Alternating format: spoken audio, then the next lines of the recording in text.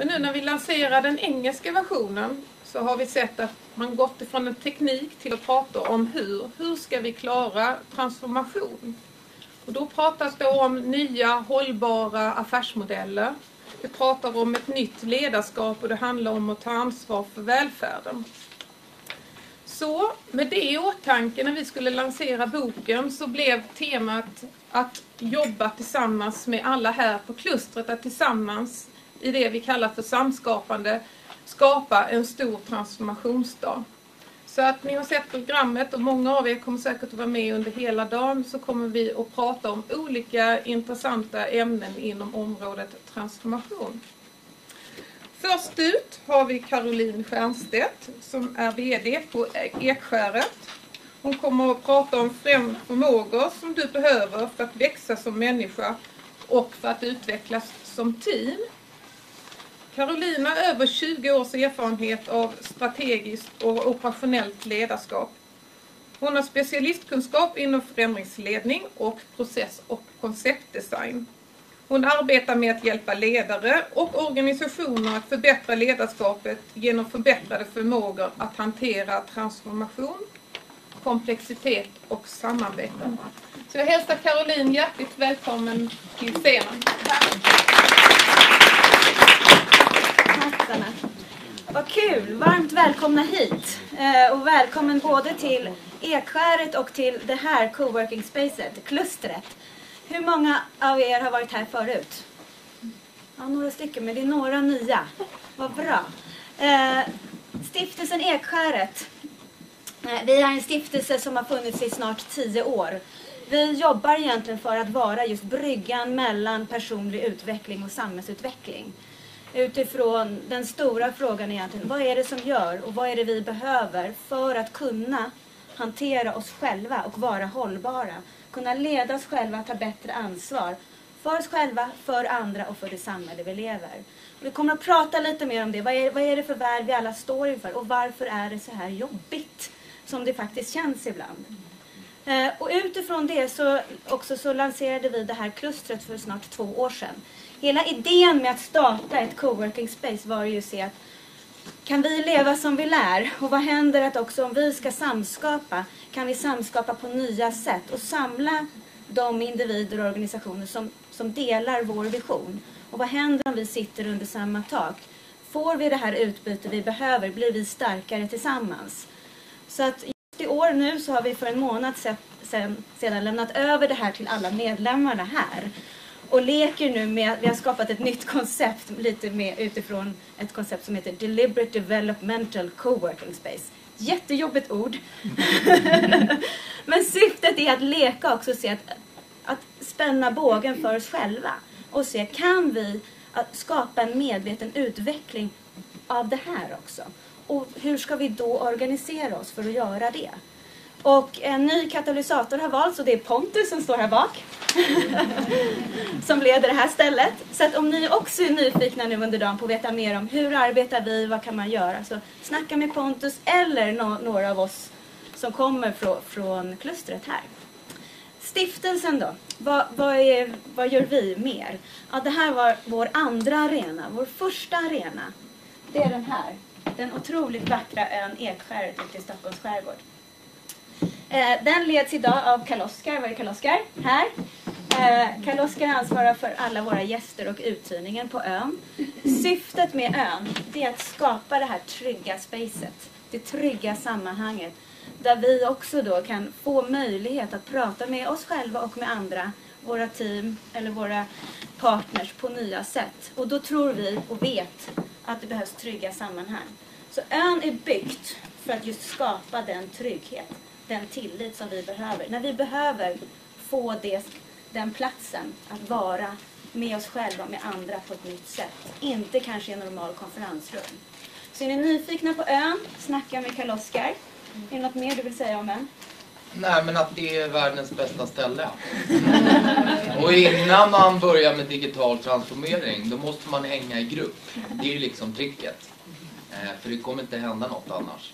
Eh, ja, det är ett väldigt fint ställe. Dessutom så gynnar man faktiskt ungdomar för vi är en anläggning som jobbar tvärtom på ett annat sätt. Eh, vi har stängt på högsäsong och öppet på lågsäsong. Och när det är högsäsong då låter vi våra ungdomar vara på ön och eh, var, ha som kompaläge fast på ett modernt sätt. Så åker man ut dit så gynnar man faktiskt eh, massa kids. Och det är nog det viktigaste man kan göra i vår ålder här inne. Och se till att det kommer en smartare generationen i det här rummet. Så eh, ja, kom ut och häng med oss. Och såklart är det ju så nu att vi sitter alla där och tittar på hur kan vi utveckla oss själva. Men det kanske viktigaste vi kan göra det är hur kan vi också utveckla nästa generation, våra barn och våra unga. Så därför så har vi också startat en ungdomsorganisation som heter Protus. Och där är Magnus som sitter här, ordförande i den organisationen. Så är ni nyfikna på den. Sedan gör vi också utbildningar och kurser, learning labs och så vidare. Där Sara finns här också. Om ni vill prata med henne. Men nog om marknadsföring om oss. Ni är här därför att ni har sett rubriken förmodar jag. Five essential skills. Och då tänker vi alla så här, åh, ja, ge mig de där superskillsen nu då, som gör att jag kan utvecklas. För det är banne mig jobbigt och det är smärtsamt. Så jag tänkte bara nu, ta någon minut och bara snacka med dem som sitter bredvid er. Varför är ni nyfikna på att komma hit? Vad var det som ni gjorde? Vad lägger ni i ordet essential skills? Ta en minut, dela. Varför är ni här? Vad är ni nyfikna på att veta?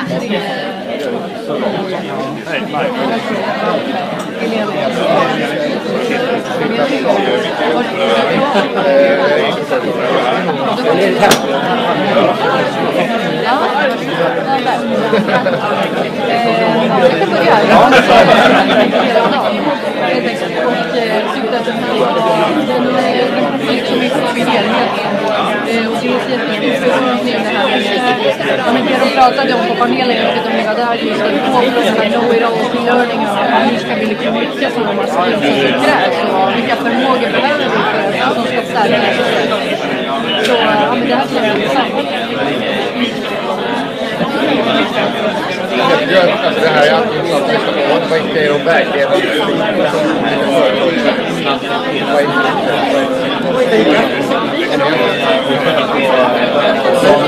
Ja, jag gör det. Jag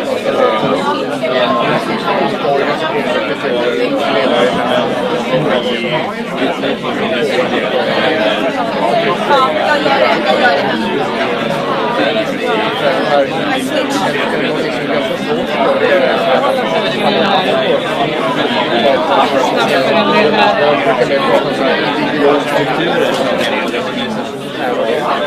Gud, det är det. Jag sitter här. Jag suckar rakt Jag. Jag har inte hört mig prata. Vi har pratat om det. Jag har hört mig prata om det. Hur de syr ihop det. Vi har pratat om det. De har pratat om det. Jag vet att det är jättemycket tid på just det här. Man kan göra färdigheterna. Okay.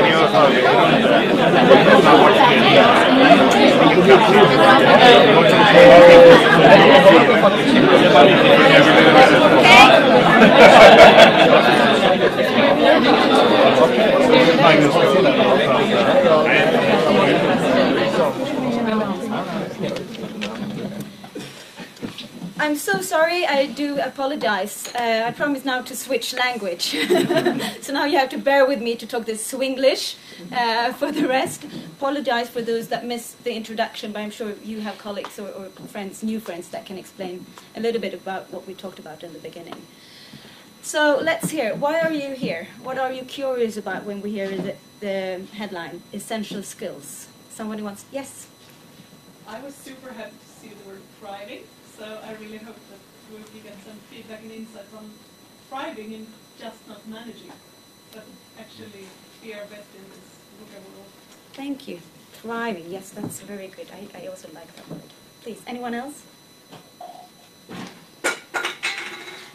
Uh, we were talking a lot about leadership and how leadership changes today versus just 10 years ago, how it used to be all about commercial mindset and the ability to work hard, and, and now how we were, we were talking about empathy and compassion and also the ability to engage other people and also to be creative. And so we're just curious to see if, if sort of your, your values fit our sort of presuppositions about what, what they are. Thank you. Yes, I, I hope that we can do talk a little bit about that. I th- thought somebody of you were from Microsoft and was talking about how do we set ourselves into the growth mindset. I think this is also some, of the new words that has we talk about right now. What is it that can make us as people to grow, and what can we do by ourselves? So, if we switch, this is the world that you recognize, right? the world of increasing complexity.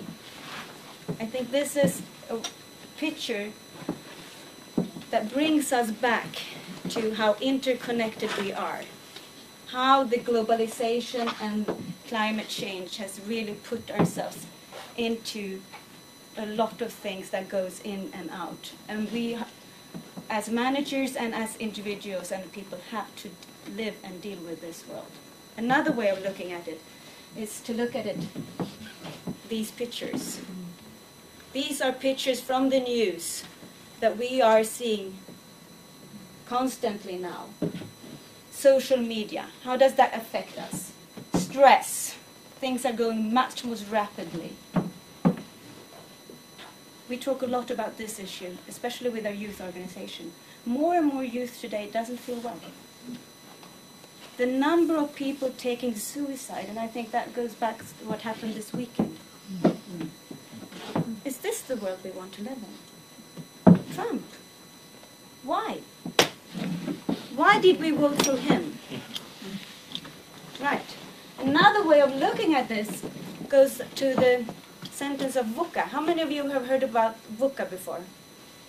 Yes, then you know this was an expression that came about around 1990 from the US military, trying to explain the world that gives us this rapidly change, but also what's happening with technology. VUCA stands for V as volatility, more variation of speed and dynamics of change. For me, goes back to kind of looking at as a stormy ocean some big waves, some shorter waves. We don't really know what's coming next. U stands for uncertainty, lack of predictability about the future and clarity about current reality. I think we all feel this. We are not really sure what's next. When will the real estates you know, what will be the prices? If I live in Zimbabwe, I work with the managers there. One day the currency was taking away a new currency, what's coming? How do you deal with that as a leader? South Africa, corruption. How is this really affecting us? Sweden, youth em employment. It's rather hard to really foresee what's coming. Go back to see complexity. New phenomena emerge from a collection of interacting parts. The whole idea of us interacting, interdependence. I think especially if we look at and work in, even if you work in Sweden and you just have Swedish partners, you can still see that the amount of complexity of partners that goes in and out, it's growing. How do we work with that? Next thing, ambiguity. Many different stories, truth, and meanings exist simultaneously. There are many truths. What is really the truth? How do we work when there are many truths existing in the same times and you're not really sure what's the best? So this is the world that we are supposed to make better decisions in. This is the world that we are trying to manage for ourselves, with our families, with our kids, but also with our companies and for the society. So if you take now, turn to your neighbors again and those sitting with you. Spend a couple of minutes talking. I, I suggest you talk three and three. How do you experience this? But give a, talk about the concrete way what does volatility mean for you in your daily life, making daily decisions in your company or in your family? When do you experience that there are many truths? What are these examples? Okay? So take a couple of minutes, talk about it. Oh. Ja, verkligen. Man känner ju såklart av att det är en annan värld. Jag är 40 liksom.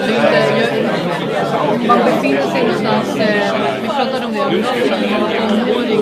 Man på något sätt att året hade verkligen 365 dagar. Det var så här, man, väntade till nästa dag det skulle vara tid. Idag är det så här, det finns så mycket skylla fylla med så att man hinner knappt liksom reflektera över nuet. Det är en utmaning i sig liksom att landa i allt det här. Så det är klart att det finns fler. Jag jobbar ju det är ju inte så att man går upp och bara, nu gör vi det här. Vad ändrar vi hela allt? Då vi leder ju nästan sig till marknaden som man är och det är så många människor och så mycket som ska liksom förändras. Där de där pratar om, om det nu är grit eller om det är eh, bara ett mindset, om det handlar om en storyline som man ska följa, en gemensam värld. We don't know. Till vad? Vad är framtiden?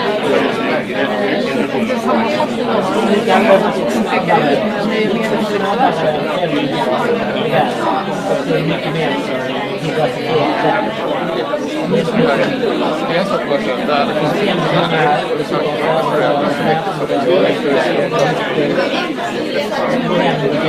Så länge vägen är rak är ingen återväg. Men att vara bygga upp en organisation.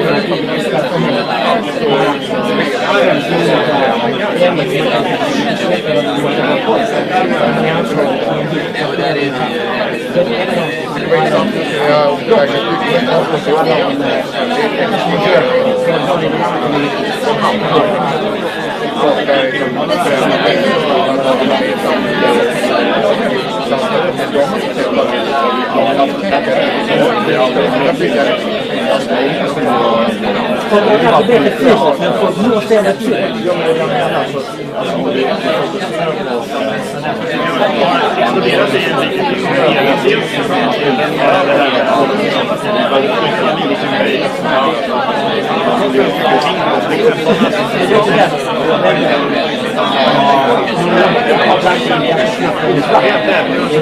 Thank you. Men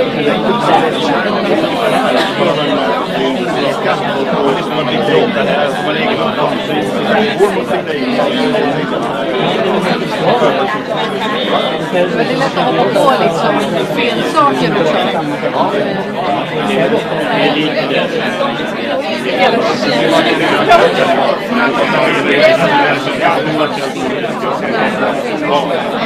det är mycket så här, jag vet att jag mer att man tror ungefär vad man står som man tycker är sanningen. Men det gäller ju också att inse att det man säger Ja men verkligen. Jag tänker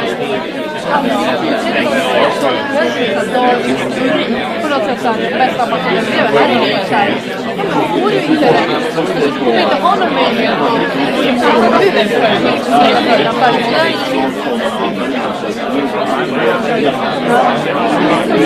väldigt bra egen initiativpengar. Ja, men de borde också införa de senaste åren. Alltså inom... Jag sa man går upp till massa, vi behöver inte det här är bara så att vi behöver kanske lite mer generalister och folk som anpassning för hela finansieringen. Använder man dem så här... Underlättar det? Är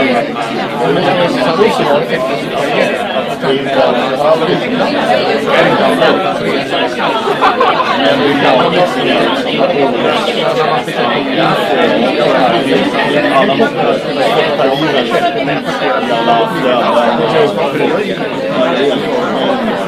Alla resten var bra.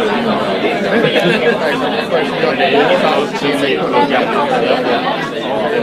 är Were, were you able to identify some concrete examples? Was it hard? No. No? Give us. Uh, well, the, the fast change and that nobody really has an answer. And uh, talking about the youth uh, um, psychological problems, of sort of them being out there, uh, not having the proper support from school, from teachers, from peers, maybe from parents. And uh, that's a, it's, it's a huge problem. Yeah. We that are working with this, we love all the change, but we have to also see that there are people that don't have the map No, and that there are, we don't really have the answers either. no. Very true. We will come back to that questions. Another thing, another concrete example. How do you experience this in your daily life? I can say one thing that I think a couple of years ago we were supposed to buy a new car. We look at biofuel, diesel. A couple of years it was so good. Everybody said it was really environmental friendly to buy a diesel car. Now, no. That's confusing. How do I make? What's with immigrants?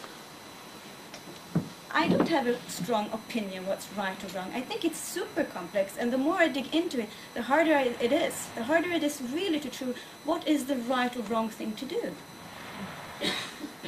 There is so many examples of examples that it's that we live in. And yes, Well, it- w- we- The, the new mantra is to be sh- uh, källkritisk. but how can we when there's not really any absolute truth to lean on? exactly. Uh, so yeah, it's easy to say be käll, källkritisk, but What's really the source, and how do you how do you know the source is right? yeah, everyone is very Yeah. convincing. So this is, I think we can we can agree on that this is the world. but how does it make us feel? Confused? Frustrated? Sometimes we're positive because we see there is also possibilities. There is new things of look at it. There are many, many good things. It's not just bad things. But still, there are more and more issues that we need to understand and to deal with. So, usually, how we deal when we feel unsure or feel that we don't have a right or wrong answer, knowing the exact way of going, the usually way we handle it is that we take control. And by taking control, we usually point with your full peka med hela handen. you know, we get super, we need, we try to take, to gain more power. But what we can see is what we actually need to do when dealing with this is not by making us control or act as bosses, but actually to find other skills that are within us. Sometimes we also need to learn how to be vulnerable. To stay there and say, this is an area which I don't have fully information about. I actually don't know. Then you will have people who says that, give me an answer. I want the three-year plan. Or you will have employees saying, you know, I want a budget. I want exact how you you need to tell me the answer. And you as a leader need to stand there and says and be vulnerable and saying, you know, I, we can try to do this. And this is what I based on the information I have today, this is probably what we are going to do. But you don't have the full full set. This means that we have to grow ourselves, and that goes us to five essential skills. We have looked at what are the areas that can make us grow and develop. What are the areas that can help us transform? And we have found five different areas that we call transformational skills, trans- transformative abilities, actually. And we've been talking to a lot of experts and scientists from many different fields, but also based on the experience of, of what we've been doing the past 10 years, looked at what is it really that what are the abilities that we need that we can't really learn by going to school or look at a YouTube movie or something? What are the skills that can help us grow and develop, but also requires another learning? And the transformative skills requires a transformative learning. A transformative learning is almost like a muscle. you know when you're supposed to learn how to bicycle? you can't read how to bicycle. The, how to, to learn how to bicycle is to daily exercise. You fail, you do a little bit more, you fall again, and you crawl up and you try, and you learn by experience. Small. You don't you don't set the marathon at the first, but you do bits and bit, piece by piece. And this is the same with these essential skills that we call transformative skills, is that you can learn them. We all have them within us. But instead of adding new skills, is to unfold, to look at it.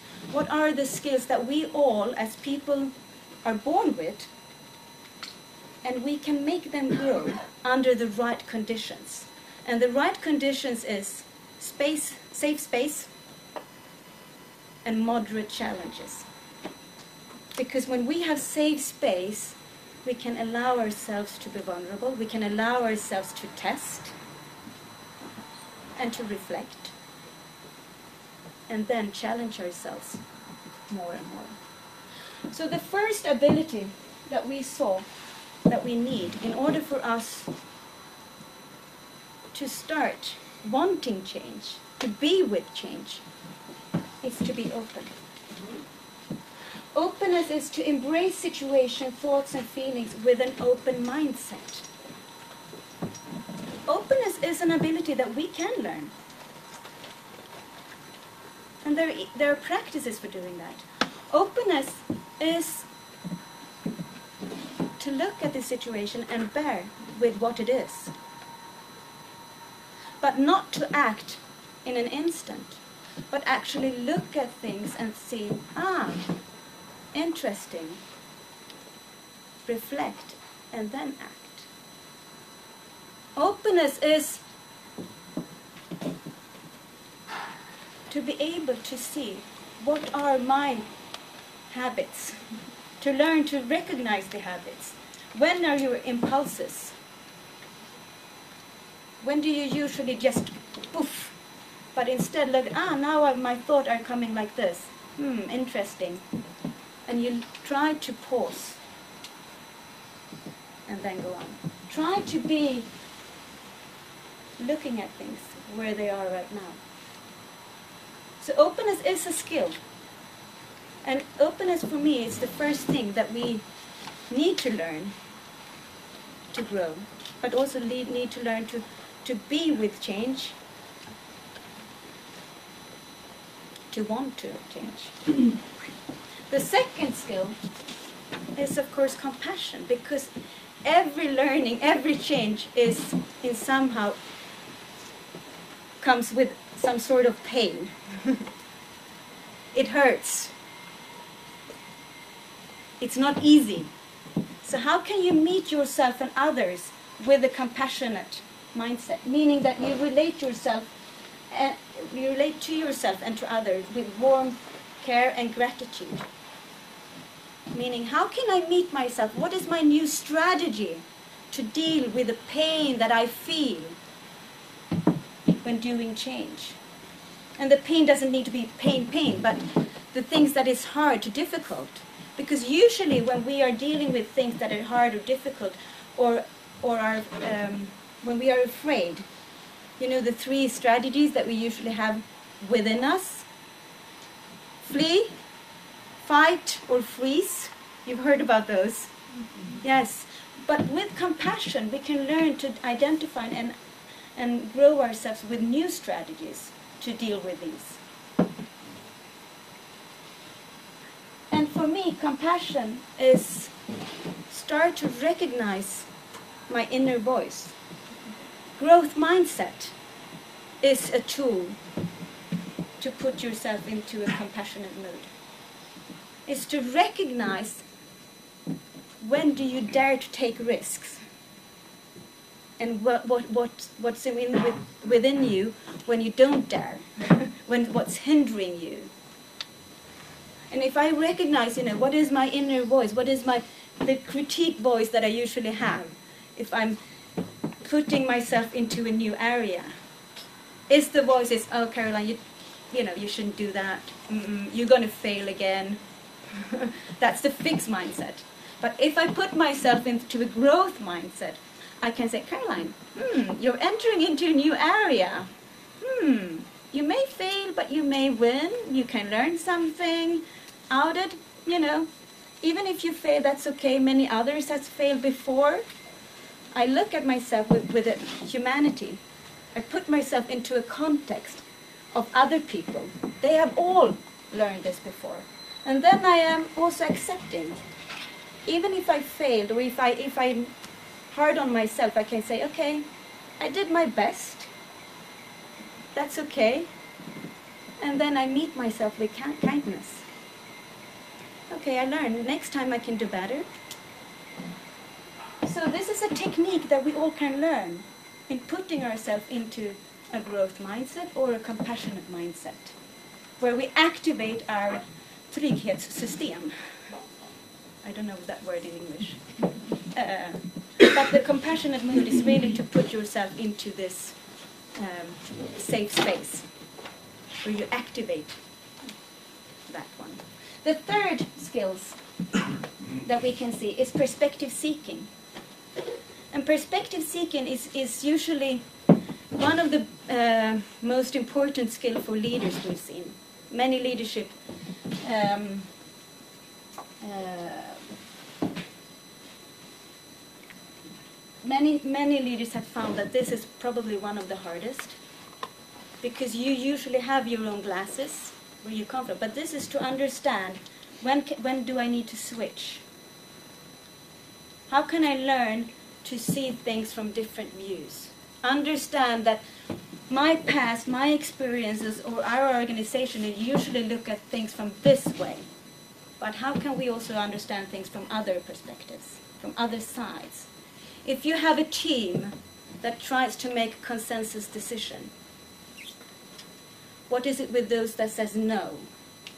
What, what, what learning, what wisdom do they have? What's behind their no?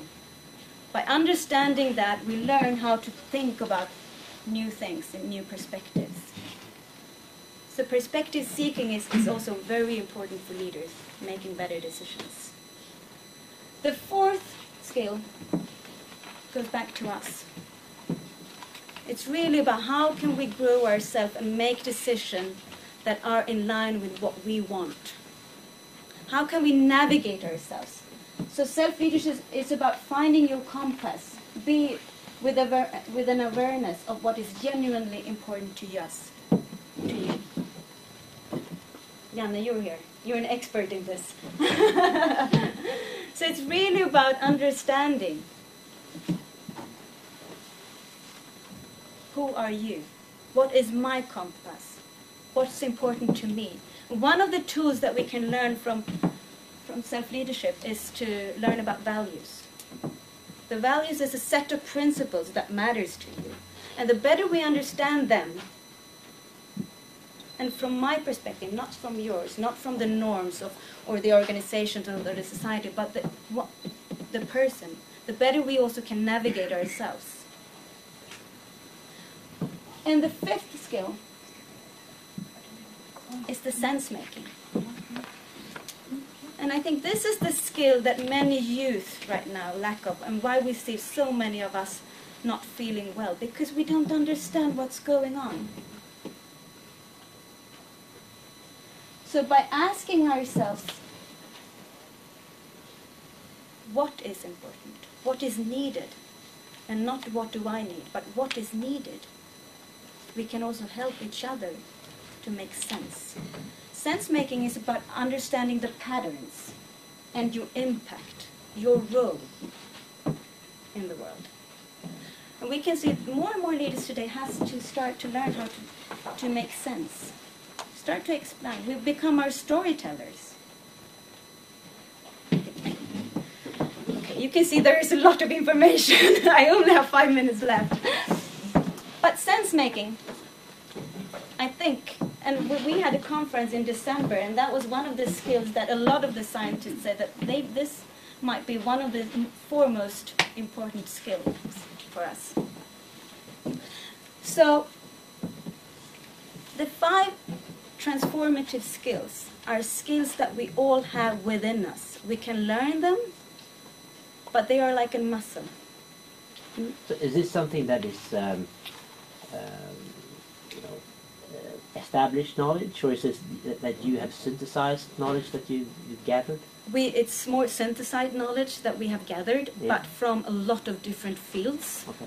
Uh, we're also right now starting to, to think about if we can write a white paper on this, and we talk to a lot, to a lot of scientists and see, because it's really about understanding what are the transformative skills, Yeah. and to cluster the transformative skills. And also to, to what we've looked at is the skills that we can learn because I think those are the ones that are interesting for us. But what we can see and when we talk to is is that if you practice and if you the more you learn these skills, the more we grow, and the more consciousness we we be, will become. That's some of the things that we've seen the results of using them. So these are the five essential skills, and of course they're huge areas, but we can with different tools learn them openness i forgot but you know one of the tools for, for really practicing openness is of course mindfulness but also the practice of listening. And and we have seen some of the leadership surveys has also shown that lack of listening is has shown to be one of the most common failure for, for leaders. So how can we start to listen to ourselves and what's happening around us? And by doing that we can also become more open so back to Mentimeter. So this was just a quick, quick overview for you of, of the skills, but just help us. You have now, if you enter that, you have three questions. Would like to ask to you.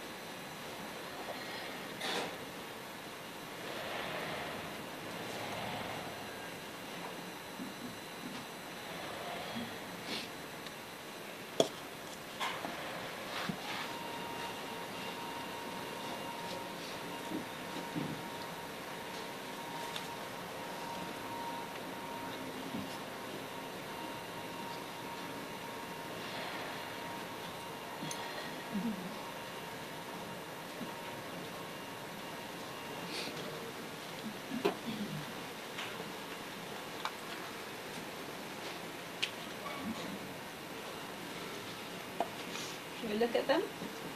Yeah, see the result. Um, we can see that we all agree that they are important. How well do you master them? Let's see. Um, we go into which skill are you best at using in your everyday life? We as a group says that we openness stands out here.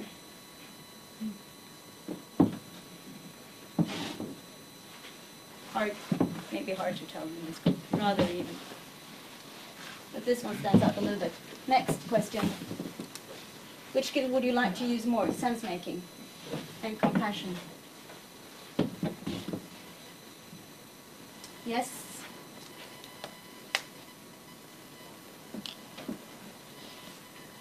So, finishing up. We don't have to buy expensive retreats or go to India for three weeks to learn these skills. We can actually start. So take out your phone, and use this and remind yourself now going home. These are the skills. If we just use three minutes of a day and reflect on how can I be open? How can I have compassion to myself? How can I seek new perspectives before making a decision? How can I navigate myself? Do I know what's important to me? Have I thought about my values for the week or values for, for this year? What's important? And do I know why I do what I do? Or why we do what we do? So by asking yourself these questions, we know that we can grow and we can grow our team. And by there also work with digital transformation in a better way. Because as we were talking about downstairs, digital transformation is not just about technology. It, it is about growing our, our people, ourselves, our teams, and our organizations, also for the society. And there are many tools for making ourselves better in these skills. So. Thank you. Thank you, Caroline, for giving us hope in this VUCA world. And I'm very glad to hear that these skills are like muscles and that we can practice them. It's very, it's nice to hear. It's not easy, but we can, we can, at least we can try. Yes, a little gift Oh, from us, tack. from DigJourney. Thank you. And thank you very much. Tack. Tack snälla. And please also, if you want to have any questions about these or of us, what we do, please, we are here during the whole day. Yes, and we will have a pause now for 15 minutes, and then we will start again at 11 o'clock. Hmm? Welcome.